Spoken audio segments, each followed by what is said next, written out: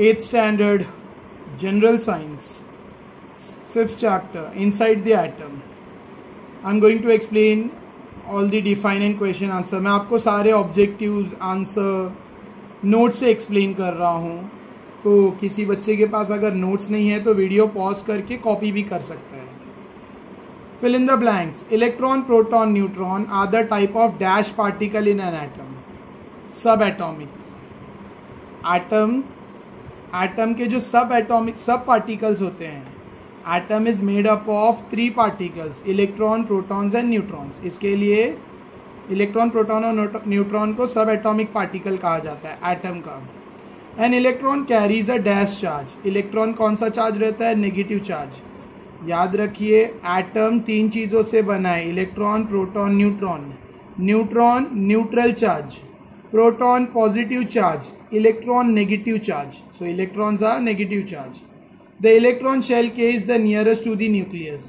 अच्छा इसमें जो शेल होती है ऑर्बिट जैसे न्यूक्लियस मिडल में होता है, और फ़र्स्ट ऑर्बिट सेकेंड ऑर्बिट ऐसे ऑर्बिट्स होते हैं।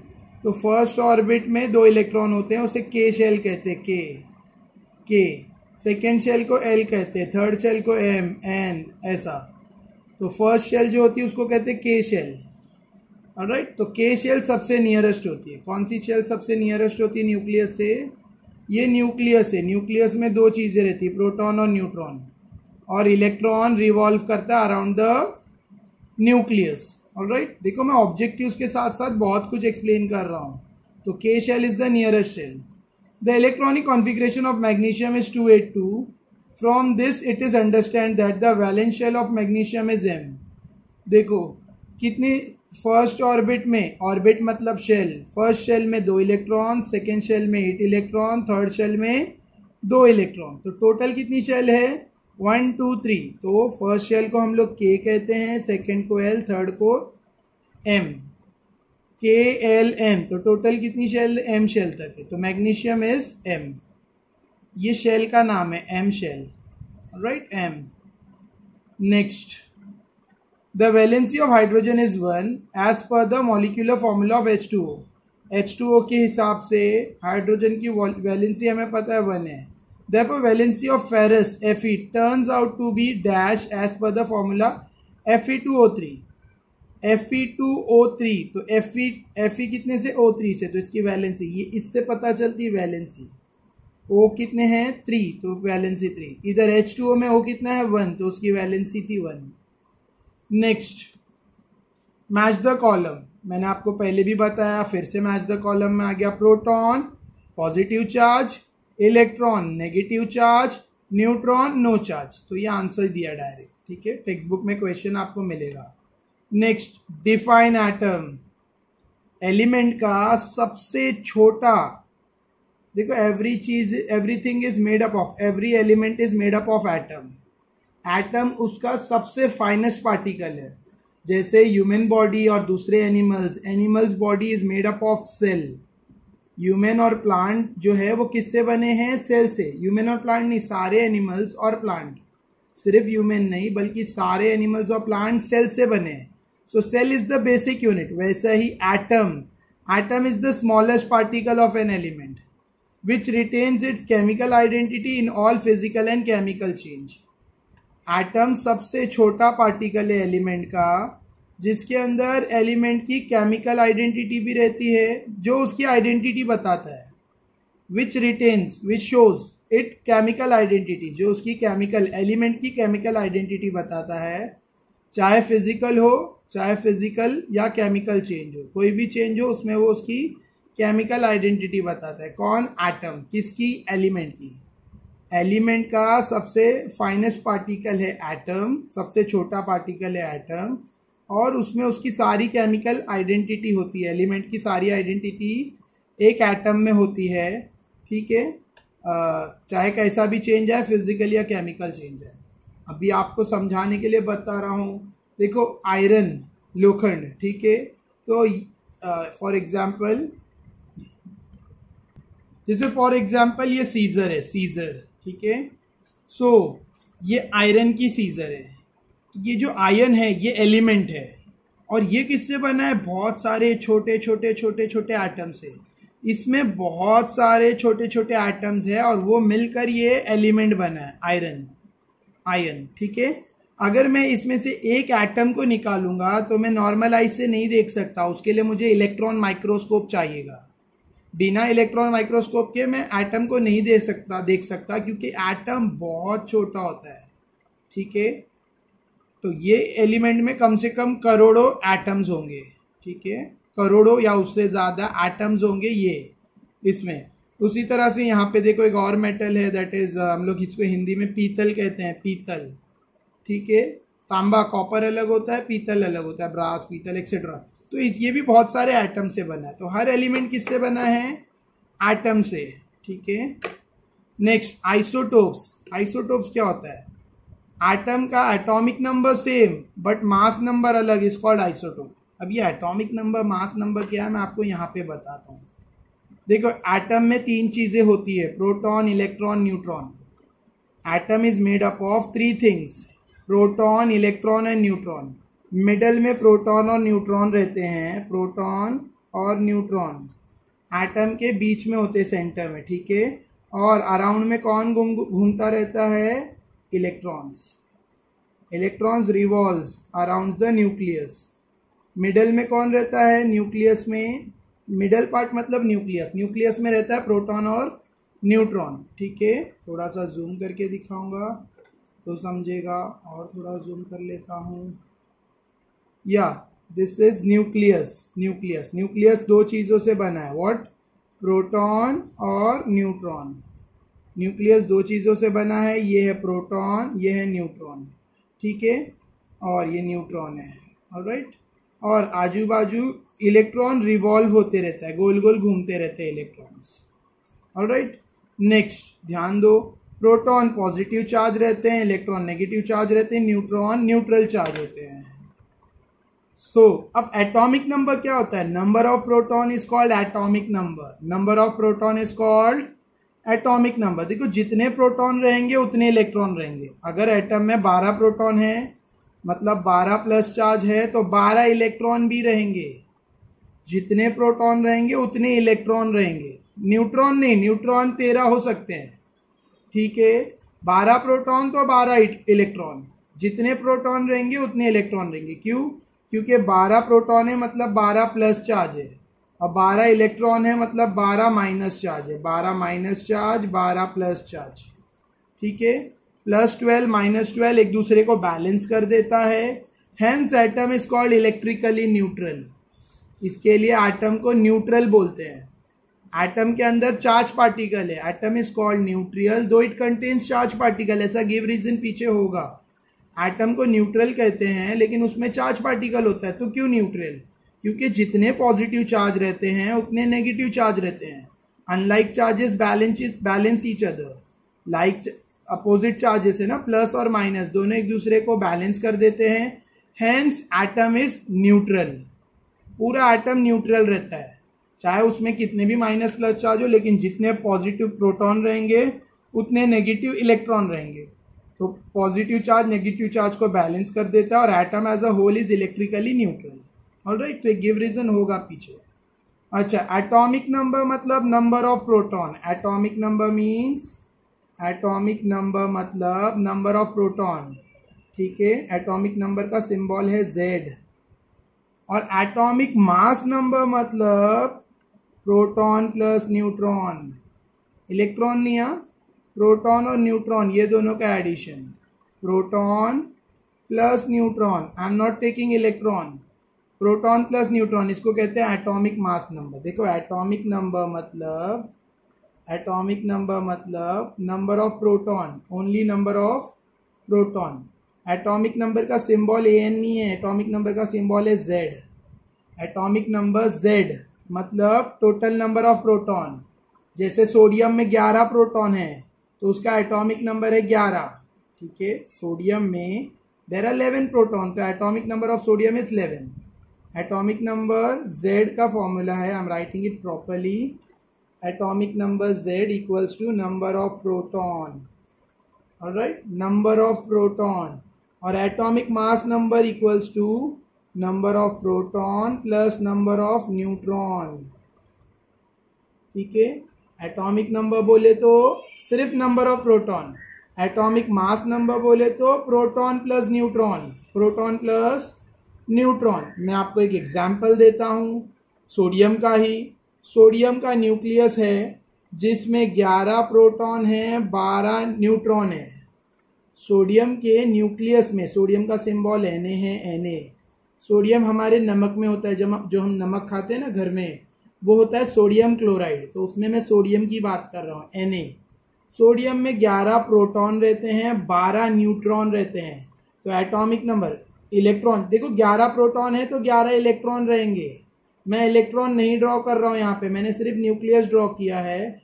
इलेक्ट्रॉन मैंने नहीं ड्रॉ किया है, ठीक है? अच्छा सोडियम में 11 प्रोटॉन 11 इलेक्ट्रॉन रह 11 न्यूट्रॉन रहते हैं। तो इसका एटॉमिक नंबर होता है 11 और एटॉमिक मास नंबर होता है। एटॉमिक मास नंबर का सिंबल है ए एटॉमिक मास नंबर रहेगा 11 प्लस बारह, तेईस। ठीक है? सोडियम का एटॉमिक नंबर है 11 और सोडियम का एटॉमिक मास नंबर है प्रोटॉन प्लस न्यूट्रॉन यानी 11 प्लस ट्वेल्व ट्वेंटी थ्री तो आई होप आपको समझा एटॉमिक नंबर क्या है एटॉमिक मास नंबर क्या है। Don't get confuse it's very easy very simple खाली वीडियो अच्छे से पूरा देखो स्किप करके देखोगे तो समझ में नहीं आएगा। पूरा वर्ड टू वर्ड देखोगे तब समझेगा, ठीक है? एटम तीन चीज़, तीन चीज़ों से बना है प्रोटॉन न्यूट्रॉन और इलेक्ट्रॉन ऐसे इलेक्ट्रॉन रहते हैं। पहली ऑर्बिट में दो इलेक्ट्रॉन रहते हैं, दूसरी में आठ आठ ऐसे हो सकते हैं, ठीक है? पहली ऑर्बिट में दो ही बैठते हैं फिट होते हैं नेचुरल है। और राइट तो पहली ऑर्बिट, ऐसी और एक ऑर्बिट रहेगी, ऐसी और एक ऑर्बिट रहेगी। टोटल 11 प्रोटॉन है तो 11 इलेक्ट्रॉन आएँगे। सो आई होप आपको यहाँ पे आपका टॉपिक क्लियर क्या है? Atom of same element having मैंने अभी आपको ये दो चीज़ बताया। एटॉमिक नंबर क्या है? एटॉमिक मास नंबर क्या है? एटॉमिक नंबर जेड क्या होता है? और एटॉमिक मास नंबर ए क्या होता है? वो मैं आपको बता रहा हूँ। अब आइसोटोप क्या है? कुछ आइटम ऐसे रहते हैं जिनका एटॉमिक नंबर सेम रहता है बट मास नंबर अलग अलग होता है। ठीक है? मैं एग्ज़ाम्पल दे रहा हूँ। उसे कहते हैं आइसोटोप मैं एग्ज़ाम्पल दे रहा हूँ। ऑक्सीजन तीन टाइप के पाए जाते हैं ऑक्सीजन ठीक है? या दो टाइप के आप लिख दो। Eight atomic number eight mass number sixteen ठीक है? Atomic number eight mass number seventeen right atomic number eight atomic mass number eighteen तीनों ऑक्सीजन है। तीनों का एटॉमिक नंबर एट है, क्योंकि तीनों में आठ प्रोटॉन है। लेकिन ये ऑक्सीजन में सोलह एटॉमिक मास नंबर है, यानी प्रोटॉन प्लस न्यूट्रॉन यानी इसमें आठ प्रोटॉन आठ न्यूट्रॉन इसमें आठ प्रोटॉन नौ न्यूट्रॉन है। इसमें आठ प्रोटॉन दस न्यूट्रॉन है। आठ एट प्रोटॉन टेन न्यूट्रॉन है। तो तीनों ऑक्सीजन के ही एटम्स है बट तीनों का एटॉमिक मास नंबर डिफरेंट है, इसे कहते हैं isotopes atom of same element having similar atomic number but different mass number atom of same element having similar atomic number but different mass number ठीक है, एक और एग्जांपल देता हूँ क्लोरीन के दो आइसोटोप नेचर में पाए जाते हैं। देखो, हम लोग एलिमेंट को नहीं बनाते एलिमेंट नेचर में पाया जाता है, हम उसकी स्टडी कर रहे हैं। बहुत सारे बच्चे सोचते हैं कि हमने एलिमेंट बनाया ह्यूमन बींग ने एलिमेंट बनाया। नहीं एलिमेंट पहले से नेचर में था। हम लोग उसकी स्टडी कर रहे हैं। तो नेचर में दो टाइप के क्लोरीन पाए जाते हैं। दोनों का एटॉमिक नंबर सेवनटीन है। ठीक है एटॉमिक नंबर नीचे लिखते हैं। और एटॉमिक मास नंबर एक का थर्टी फाइव है और एक का थर्टी सेवन पॉइंट फाइव है। सो so, दोनों क्लोरीन के दो क्लोरीन के isotope atom of same element having similar atomic number but different mass number. ये क्लोरीन के आइसोटोप्स है। ऐसे हाइड्रोजन के भी आइसोटोप्स पाए जाते हैं। ठीक है? सो आई होप आपको ये भी समझा अच्छे से। अगर समझा हो तो ठीक है, समझा ही होगा। नेक्स्ट नेक्स्ट एटॉमिक नंबर मैंने आपको पीछे वाले पेज में यही समझा एटॉमिक नंबर यहाँ पर फिर आ गया। ठीक है? एटॉमिक नंबर सिंबल है जेड एटॉमिक नंबर क्या होता है? द नंबर ऑफ़ प्रोटॉन और इलेक्ट्रॉन जितने इलेक्ट्रॉन रहेंगे उतने ही प्रोटॉन तो दोनों में से कोई भी एक। नंबर ऑफ़ प्रोटॉन और electron is called atomic number it is denoted by Z तो ये बहुत सिंपल है, आपको बैट हो गया होगा, क्योंकि मैंने पीछे डायग्राम से समझा दिया। नंबर ऑफ़ प्रोटॉन सिर्फ़ proton is called atomic number symbol है Z atomic mass number total number of proton and neutron total proton plus neutron symbol A atomic mass number मतलब प्रोटॉन प्लस न्यूट्रॉन ठीक है? Total करना है दोनों को plus करना है. Is called atomic mass number इसका सिंबल है कैपिटल है. Next moderator in nuclear reactor nuclear reactor में मॉडरेटर किसको कहते हैं? The substance which reduce the speed of fast moving neutron produced in fusion is called moderator in nuclear reaction जब जब reactor में, जब रिएक्शन होता है रिएक्टर में जब रिएक्शन होता है न्यूक्लियर रिएक्टर में रिएक्शन को स्लो करने के लिए या फास्ट मूविंग न्यूट्रॉन को स्लो करने के लिए जो सब्सटेंस यूज़ करते हैं, उसे कहते हैं मॉडरेटर अब सिर्फ़ इतना ही समझ लो न्यूक्लियर रिएक्टर एक मशीन है, ठीक है? अंडरस्टैंडिंग के लिए बता रहा हूँ। उसके अंदर रेडियो एक्टिव एलिमेंट्स है और न्यूट्रॉन्स है। और न्यूट्रॉन्स बहुत फास्ट मूव कर रहे हैं। ठीक है? उनकी स्पीड कम करने के लिए, उनको स्लो करने के लिए जो सब्सटेंस यूज़ होता है, उसे कहते हैं मॉडरेटर राइट इससे ज़्यादा मैं आपको डिटेल नहीं बताऊँगा। मॉडरेटर यूज़ हुआ था बाय। मॉडरेटर रुथरफर्ड ने यूज़ किया था अपने एक्सपेरिमेंट में, ठीक है? So what are the different atomic model what is the difference in atomic model of Thomas and Rutherford देखो, ये साइंटिस्ट ने और ये साइंटिस्ट ने और वैसे और भी बहुत सारे साइंटिस्ट ने एटम का मॉडल ड्रॉ करने की कोशिश की। अभी नहीं, बहुत पहले। ठीक है? हमें नहीं पता था पहले कि एटम में बीच में न्यूक्लियस है इलेक्ट्रॉन रिवॉल्व होता है न्यूक्लियस में प्रोटॉन न्यूट्रॉन होते हैं। ये किसने बताया? ये रूथरफर्ड से पता चला। उससे पहले थॉमस, थॉमसन ने ट्राई किया था बट ही वॉज़ फ्लॉप्ड लेकिन कोशिश की थी, इसके लिए we have to study about him Thomson नाम के जो साइंटिस्ट ने किया था, उन्होंने कोशिश की थी। और कोशिश करने वाले, कोशिश में जो आगे आता है, उसके बारे में पढ़ना चाहिए। वो वो फ्लॉप रहा या सक्सेसफुल रहा it's another thing so Thomson का एटॉमिक मॉडल और रुथरफर्ड एटॉमिक मॉडल में क्या डिफरेंस है? According to Thomson atomic model the negative charge electron are embedded in a gel of positive charge Thomson model के हिसाब से negative charge negative charge electron गड़े हुए हैं, ठीक है पॉजिटिव चार्ज में। मतलब सारे नेगेटिव चार्ज पॉजिटिव चार्ज के बीच में जमा है, ठीक है? Atom is homogeneous sphere of positive charge और सेकेंड पॉइंट इन्होंने कहा था कि एटम क्या है? एक होमोजीनियस होमोजीनियस मतलब सेम टाइप का। स्पीयर राउंड शेप का है ऑफ़ पॉजिटिव चार्ज एक चीज़ तो परफेक्ट कही थी स्पीयर है एटम स्पेरिकल होता है। ठीक है? नेक्स्ट रूथरफर्ड ने जो एक्सपेरिमेंट किया, उसमें कुछ उल्टा था। इसमें क्या था? नेगेटिव चार्ज जमा एक जगह पॉजिटिव चार्ज फैला हुआ है। और यहाँ पे रुथरफर्ड ने क्या कहा?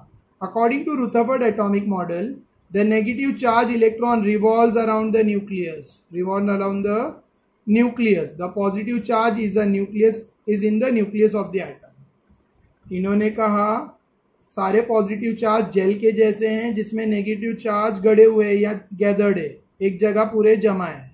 और रुथरफर्ड ने कहा नेगेटिव चार्ज रिवॉल्व हो रहा है। एक जगह रुका नहीं है, बल्कि नेगेटिव चार्ज कंटिन्यूज रिवॉल्व हो रहा है न्यूक्लियस के आजू बाजू बीच में न्यूक्लियस है और नेगेटिव चार्ज रिवॉल्व हो रहा है इन ऑर्बिट ठीक है? नेगेटिव चार्ज इसके इर्द गिर्द गोल गोल चक्कर काट रहा है और बीच में न्यूक्लियस है और नेगेटिव चार्ज यानी इलेक्ट्रॉन आजू बाजू घूम रहा है। इसने कहा, नेगेटिव चार्ज एक जगह स्टेबल है इलेक्ट्रॉन रिथरफर्ड ने कहा, इलेक्ट्रॉन गोल गोल घूम रहे हैं रिवॉल्व कर रहे न्यूक्लियस में।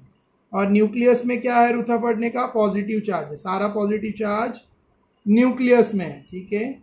और इन्होंने, इसने कहा था atom is homogeneous sphere of positive charge atom एक सिमिलर टाइप का स्पीयर है सिमिलर होमोजीनियस मतलब जिसकी सारी प्रॉपर्टी सेम हो। ठीक है?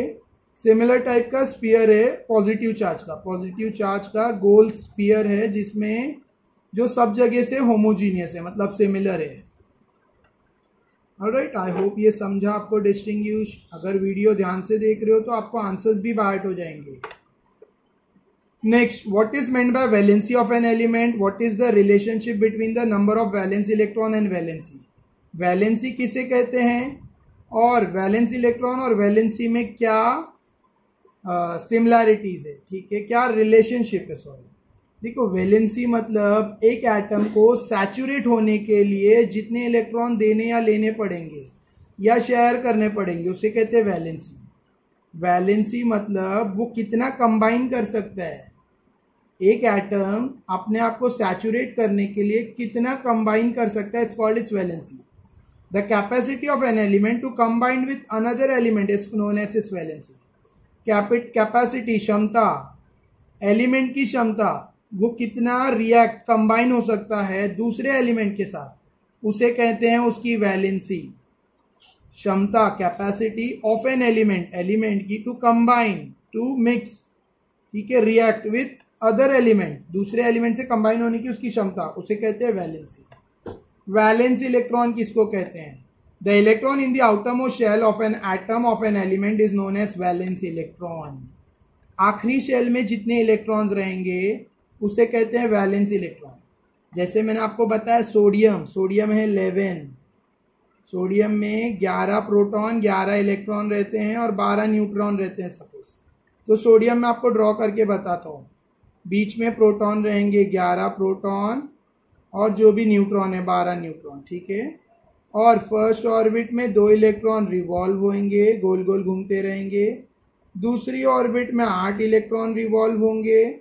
आठ। One, two, three, four, five, six, seven, eight. और थर्ड ऑर्बिट में, थर्ड ऑर्बिट में सिर्फ़ एक इलेक्ट्रॉन रिवॉल्व होगा। एक, वन। इलेवन है ना? लेवन है मतलब उसका कॉन्फ़िगरेशन क्या है? Two, eight, one. इसे कहते हैं इलेक्ट्रॉनिक कॉन्फ़िगरेशन पहली ऑर्बिट में दो, दूसरी में एट तीसरी में one all right so this is the valence electron जो लास्ट ऑर्बिट में रहेगा, उसे वैलेंस इलेक्ट्रॉन कहते हैं. सर ऐसा क्यों लिखे हो आप? पहली में दो, दूसरी में एट तीसरी में वन आप पूरा इलेवन क्यों नहीं लिख रहे हो? एक में पूरा इलेवन नहीं डाल सकते. नहीं डाल सकते. पहली ऑर्बिट में दो इलेक्ट्रॉन ही फिट होंगे, उसे के शेल कहते हैं. दूसरी ऑर्बिट में आठ ही इलेक्ट्रॉन फिट होते हैं, उसे एल शेल कहते हैं। और जो बचा, यानी एम शेल में, उसमें उसमें भी वैसे आठ फिट हो सकते उसमें अठारह फिट हो सकते हैं। एम शेल में अठारह फिट हो सकते हैं, लेकिन सैचुरेट होने आठ तो चाहिए। इसके बाद ओ शेल आएगा के सॉरी एन आएगा एन एन में छत्तीस फिट हो सकते हैं। ठीक है? तो ये फॉर्मूला जो रहता है, इसका एन स्क्वायर रहता है एन स्क्वायर एन स्क्वायर पहली ऑर्बिट एन की जगह वन डालो वन स्क्वायर टू डालो, ठीक है? तो two two square sorry formula इसका है two N square two N square ठीक है? तो आप जैसा जैसा ऑर्बिट डालोगे, वैसा वैसा, जैसे फ़र्स्ट ऑर्बिट है तो एन की जगह पे one two one square one two one ज़ा टू यानी के शेल में टू आएगा। एल शेल में two square four four two ज़ा एट ऐसा, ठीक है? तो के एल एम एन ऐसे शेल्स है। तो सोडियम में लास्ट ऑर्बिट में कितने इलेक्ट्रॉन है? वन तो ये इसका वैलेंस इलेक्ट्रॉन है। इसे कहते हैं वैलेंस इलेक्ट्रॉन तो मैं आपको समझा रहा था वैलेंस इलेक्ट्रॉन क्या होता है? The electron in the outermost shell of an atom of an element are called valence electron valence electron क्या होता है?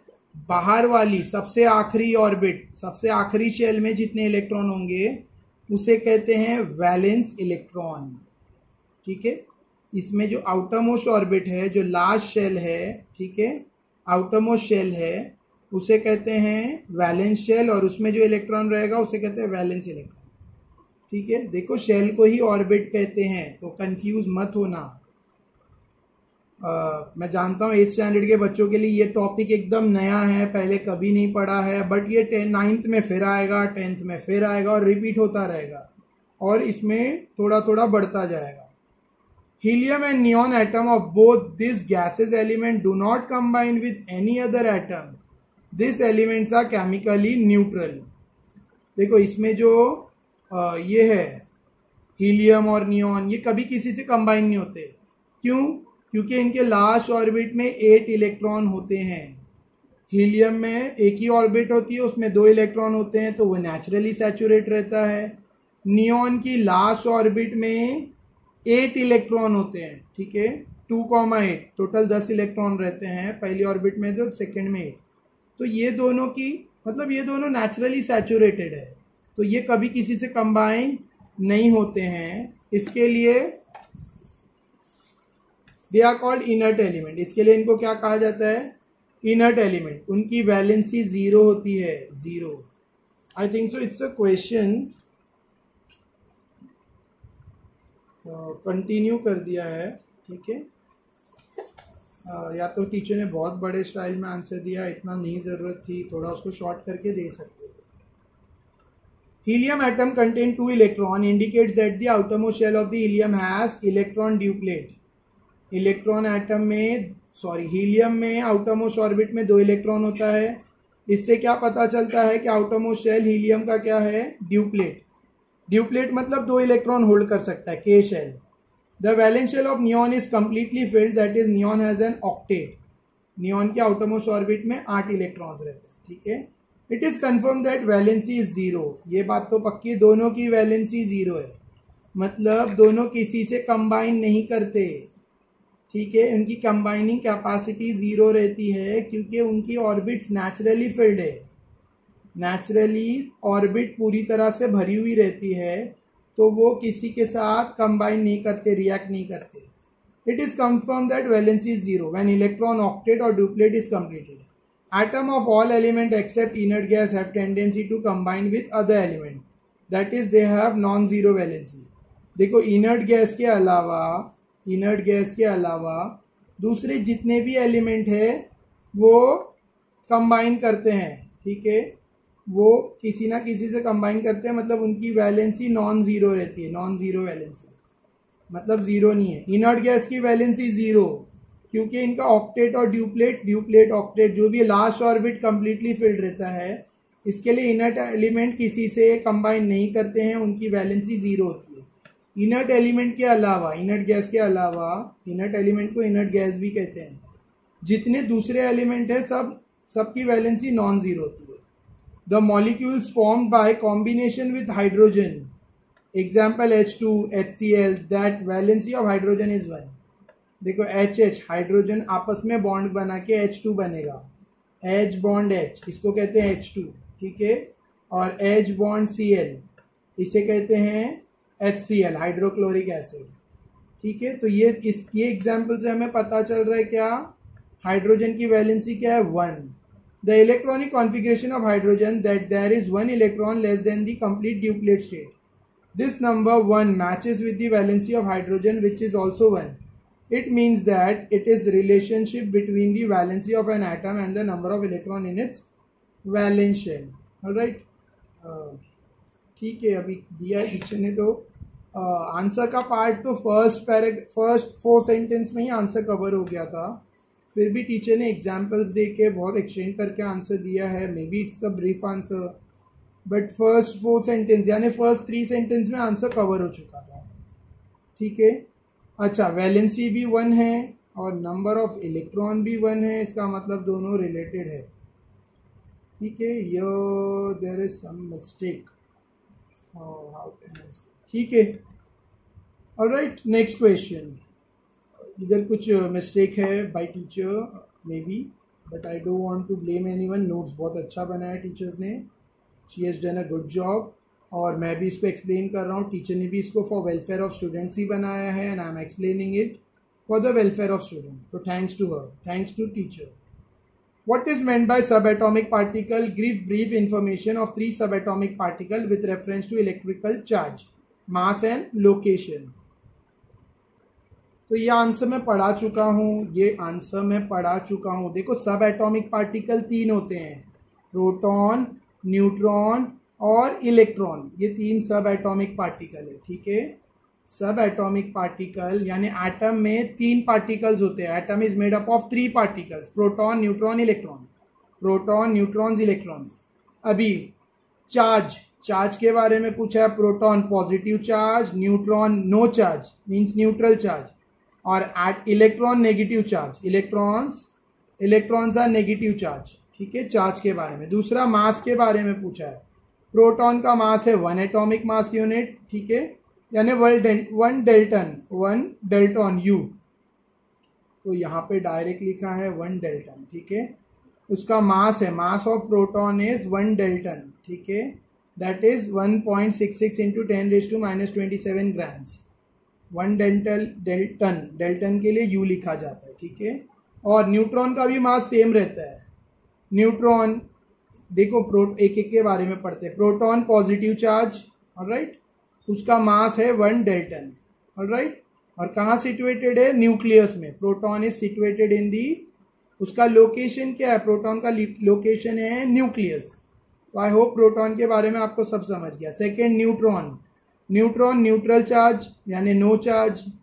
न्यूट्रल चार्ज मतलब चार्ज नहीं होता उसमें कुछ, ठीक है? So electrically neutral sub atomic particle उसका मास मास यानी वज़न, इसका भी वन डेल्टन है यानी one u that is equals to proton proton जितना ही रहता है। थर्ड इलेक्ट्रॉन इलेक्ट्रॉन अच्छा वेर इज़ न्यूक्लियर न्यूट्रॉन का लोकेशन क्या है? न्यूट्रॉन का न्यूक्लियस ये भी न्यूक्लियस में रहता है। प्रोटॉन भी न्यूक्लियस में रहता है, न्यूट्रॉन भी न्यूक्लियस में रहता है। Third electron electron sub atomic particle है एक्स्ट्रा न्यूक्लियर है मतलब न्यूक्लियर के बाहर होता है, ठीक है? रिवॉल्व अराउंड द न्यूक्लियस ये दोनों न्यूक्लियस में रहते हैं प्रोटॉन और न्यूट्रॉन प्रोटॉन और न्यूट्रॉन दोनों न्यूक्लियस में रहते हैं। प्रोटॉन भी न्यूक्लियस में रहता है न्यूट्रॉन भी न्यूक्लियस में रहता है बट इलेक्ट्रॉन न्यूक्लियस के बाहर रहता है न्यूक्लियस के आजू बाजू रिवॉल्व होता रहता है। ठीक है? इलेक्ट्रॉन इलेक्ट्रॉन में कौन सा चार्ज रहता है? Negative charge. इलेक्ट्रॉन में कौन सा चार्ज रहता है? Negative charge. और इलेक्ट्रॉन का मास बहुत कम होता है। 1800 गुना कम होता है। ठीक है? हाइड्रोजन एटम से। इलेक्ट्रॉन का मास बहुत बहुत कम होता है। इसके लिए उसको नेग्लिजिबल माना जाता है। Mass of electron is very less. Hence it is treated as negligible negligible मतलब गिनती ही नहीं, उसको गिनते ही नहीं है। उसके मास को गिनते इलेक्ट्रॉन का चार्ज नेगेटिव रहता है, लेकिन मास गिनते नहीं, बहुत हल्का रहता है, ठीक है? और न्यूट्रॉन का मास वन डेल्टन यानी वन यू न्यूट्रॉन का चार्ज नो चार्ज प्रोटॉन का mass one dalton same neutron proton का मास दोनों का वन डेल्टन प्रोटॉन का चार्ज पॉजिटिव चार्ज प्रोटॉन और न्यूट्रॉन दोनों न्यूक्लियस में रहते हैं न्यूक्लियस और electron out of nucleus electron revolves extra nuclear particle है which revolves which around the nucleus तो आई होप आपको ये आंसर बहुत अच्छे से समझ गया होगा। It's a very easy and simple answer ठीक है? अब इसमें से आपको एक एक पार्ट ऐसा क्वेश्चन को स्प्लिट करके पूछ सकते हैं। व्हाट इज़ प्रोटॉन या what is the charge mass and location of proton तो सिर्फ़ आपको प्रोटॉन का लिखना है। न्यूट्रॉन, और ये पॉइंट डिस्टिंग्विश में भी पूछ सकते हैं। Distinguish between neutron and electron distinguish between proton and electron distinguish between proton and neutron so it's very easy अगर आपको समझा तो बहुत जल्दी बाहर होगा। समझने के लिए वीडियो पूरा देखना होगा। वीडियो अच्छा लग रहा है आपको तो पहले शेयर कर लो।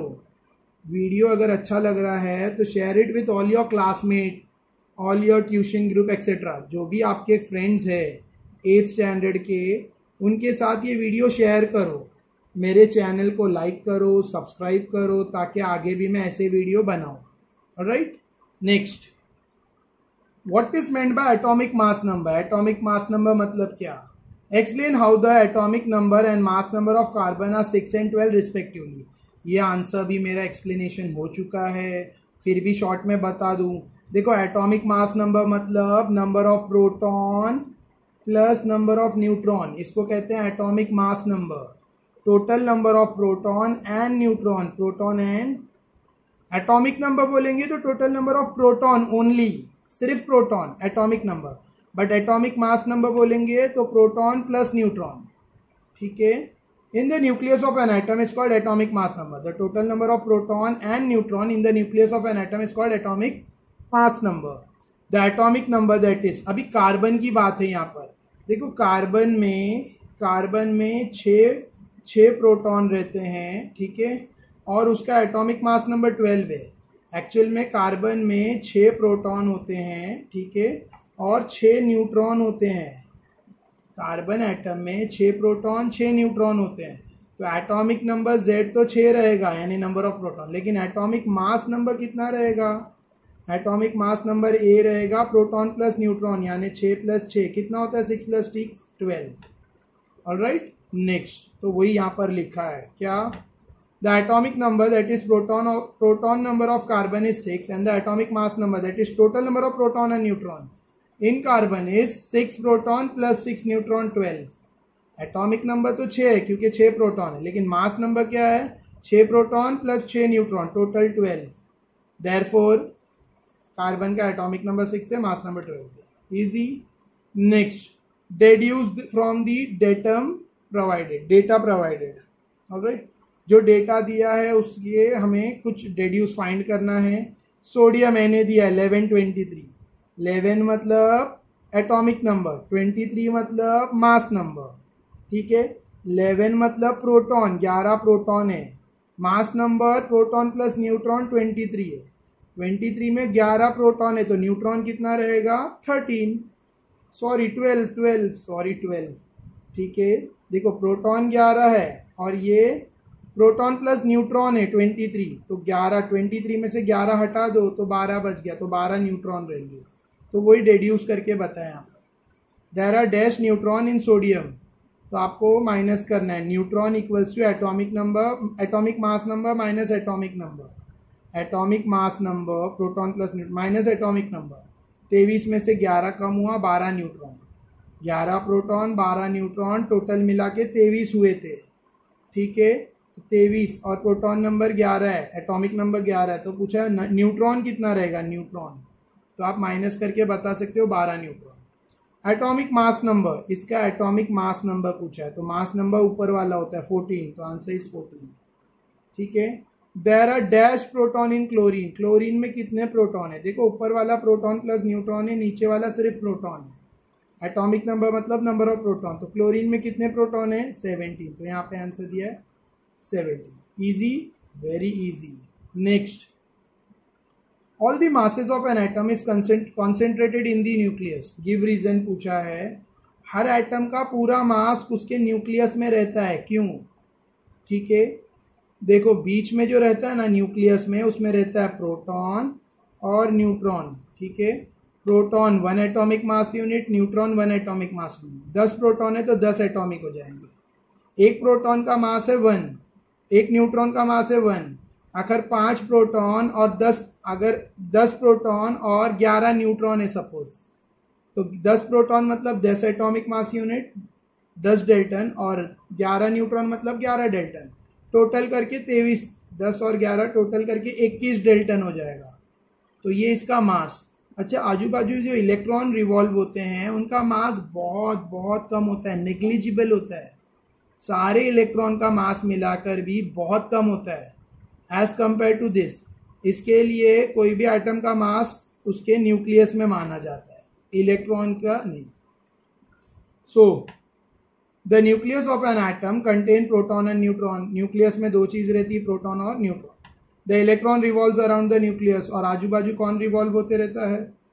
Nucleus the mass of an electron is negligible compare to that of proton और न्यूट्रॉन इलेक्ट्रॉन का वज़न इलेक्ट्रॉन का मास नेग्लिजिबल बोला जाता है प्रोटॉन और न्यूट्रॉन के कंपैरिजन में. Hence the mass of an atom atom depends mainly on the number of proton और न्यूट्रॉन इसके लिए मास किस पे निर्भर रहता है? प्रोटॉन और न्यूट्रॉन के नंबर पे, और प्रोटॉन और न्यूट्रॉन दोनों न्यूक्लियस में रहते हैं। इसके लिए हम बोला जाता है कि मास न्यूक्लियस में है। ठीक है नेक्स्ट डोंट वरी कंप्लीट होने है लास्ट पेज है हमारा, फिर chapter complete atom is electrically neutral ये आंसर भी मैं एक्सप्लेन कर चुका हूँ। एटम इलेक्ट्रिकली न्यूट्रल रहता है, क्यों? एटम इलेक्ट्रिकली न्यूट्रल रहता है, क्यों? क्योंकि न्यूक्लियस में जितने पॉजिटिव चार्ज प्रोटॉन रहते हैं, उतने ही नेगेटिव चार्ज इलेक्ट्रॉन्स बाहर रिवॉल्व करते हैं। न्यूक्लियस के अंदर जितने पॉजिटिव चार्ज प्रोटॉन होते हैं, उतने ही negative charge electron extra nuclear रहते हैं मतलब न्यूक्लियस के बाहर रिवॉल्व होते हैं। जितने पॉजिटिव चार्ज प्रोटॉन रहते हैं इक्वल रहते हैं, उतने ही नेगेटिव चार्ज इलेक्ट्रॉन। जितने प्रोटॉन इक्वल रहेंगे उतने इलेक्ट्रॉन तो पॉजिटिव नेगेटिव चार्ज एक दूसरे को बैलेंस कर देता है। Hence atom is electrically neutral the magnitude of positive charge on the nucleus equal to the magnitude of negative charge on the electron nucleus में जो पॉजिटिव चार्ज है, जितना है, उतना ही नेगेटिव चार्ज इलेक्ट्रॉन रहेगा। As positive charge are balance as opposite sorry opposite charge are balance opposite charge मतलब plus और माइनस चार्ज बैलेंस हो जाता है। एटम को न्यूट्रल बोला सकता है। एटम एटम क्या रहता है? इलेक्ट्रिकली न्यूट्रल ठीक है? एटम को न्यूट्रल बोलते हैं। Next atomic mass number is a whole number atomic mass number जो आएगा, वो हमेशा क्या आएगा? होल नंबर आएगा। The total number of proton and neutron in the nucleus of atom is called atomic mass number A as proton and neutron are whole number देखो whole number क्यों बोला है? देखो मैथ्स में आपने पढ़ा होगा whole number natural number etcetera whole numbers are all positive numbers from zero to all ठीक है? अभी, क्योंकि प्रोटॉन और न्यूट्रॉन का नंबर होल नंबर हो सकता है, जैसे हाइड्रोजन में न्यूट्रॉन ज़ीरो रहता है और प्रोटॉन वन रहता है तो वो होल नंबर हो सकता है। इसके लिए एटॉमिक मास हमेशा होल नंबर रहेगा। नेक्स्ट एटम्स आर स्टेबल दो negative charge electrons are revolving within atom के अंदर नेगेटिव चार्ज इलेक्ट्रॉन है, जो गोल गोल घूम रहे हैं उसमें। फिर भी एटम स्टेबल रहता है। वाई वापस क्वेश्चन रिपीट कर रहा हूँ। एटम के अंदर नेगेटिव चार्ज पार्टिकल रहते हैं, ठीक है? फिर भी एटम स्टेबल रहता है तो यही रीज़न है सेम फ़र्स्ट वाला। ये जो सेकेंड है ना एटम इज़ इलेक्ट्रिकली न्यूट्रल वही आंसर लिखा होगा इसमें। क्योंकि रीज़न ही वो है। जितने पॉजिटिव चार्ज प्रोटॉन है, उतने ही नेगेटिव चार्ज इलेक्ट्रॉन है। अपोजिट चार्ज बैलेंस कर देता है। इसके लिए आटम न्यूट्रल की जगह आपको स्टेबल लिखना है, स्टेबल रहता है। तो यहाँ पर भी मेरे ख्याल से वही रहेगा। The entire mass of an atom is concentrated in nucleus and the positive charge nucleus at the centre of the atom the negative charge electron revolve around the nucleus the total negative charge देखो last statement same है। Total negative charge of electron equal है। Total negative charge electron का is equal to total positive charge on the nucleus nucleus में जो proton है, उसको equal रहेगा। As opposite charge is balance क्योंकि अपोजिट चार्ज बैलेंस इसके लिए आइटम स्टेबल रहता है। तो यही आंसर को थोड़ा सा वर्ड चेंज करके लिखा हुआ है। सेम पूरा। Right so last page by this we are completing the chapter एक पेज लास्ट बचा है। पूरा वीडियो देखने का फ़ायदा ये होगा। लास्ट पेज में सिर्फ़ डायग्राम है तो बहुत फटाफट होगा। ये रूथाफर्ड एक्सपेरिमेंट का डायग्राम है। रूथाफर्ड स्कैटरिंग एक्सपेरिमेंट का डायग्राम है गोल्ड फॉइल उन्होंने यूज़ किया था अल्फ़ा पार्टिकल बॉम्बार्ड किया था गोल्ड फॉइल पर, और कुछ रेज रिफ्लेक्ट होके वापस आए, कुछ 90 डिग्री पे गए, कुछ सम डिग्रीज पर मूव हो गए एंड सो ऑन ठीक है? सो ये एक्सपेरिमेंट है। इसमें एक गोल्डन फॉइल है जो मिडल में रखा है फ्लोरेसेंट स्क्रीन रखा है जो रिफ्लेक्ट होके रेज आ रही है उसके लिए, और ये अल्फ़ा पार्टिकल्स है पॉजिटिव चार्ज पार्टिकल जो गोल्ड फॉइल पे बॉम्बार्ड किया गया था। Thomson atomic model. इनका, थॉमसन का एटॉमिक मॉडल केक की तरह है, केक। ठीक है? एक केक की तरह, पुडिंग की तरह, यहाँ लिखा है पुडिंग। पुडिंग की तरह है, ठीक है? ब्रेड की जो पुडिंग बनती है, उसकी तरह है, जेली टाइप रहती है पुडिंग, वैसा है। जेली जैसी रहती है। जिसमें नेगेटिव चार्जेस है, पॉजिटिव चार्जेस है। राइट नेक्स्ट यहाँ पर we have to draw magnesium और आर्गन का एटम ड्रॉ करना है।